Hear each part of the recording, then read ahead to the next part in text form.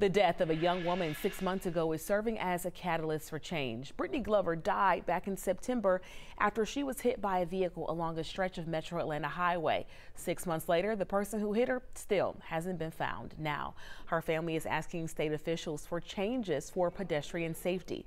11 Alive's Teresa Bowles has that story. Birthday, it's Valerie Handy Carey's first birthday without her. Brittany was passionate about her family.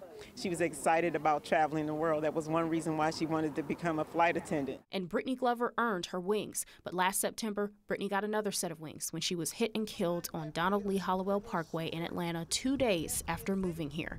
This highway has been on our radar for several years now because it's one of the city's most dangerous. And on this busy highway, Rebecca Serna's organization Propel ATL, as well as Brittany's loved ones, gathered on the semi anniversary of Brittany's death to call for change. Reducing the speed limit, the stop sign um, for the pedestrians, they can push a button and they can be signaled to walk when it was safe, and then arresting the people who did it. Atlanta Councilwoman Keisha Waites with some additional ideas. Getting a traffic device here, a light. Our goal is to get more signage that actually states what the speed limit is. DLH Parkway is a state road, but Waites says local legislation is still possible. To change the speed limit, it will require state approval, so Waites plans to bring these issues to state officials. Brittany's a daughter of our city.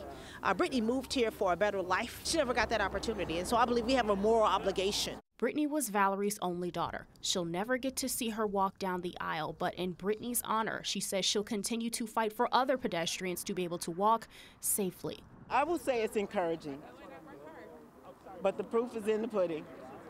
You can tell me whatever, but until I see that change happening, then it's all just talk.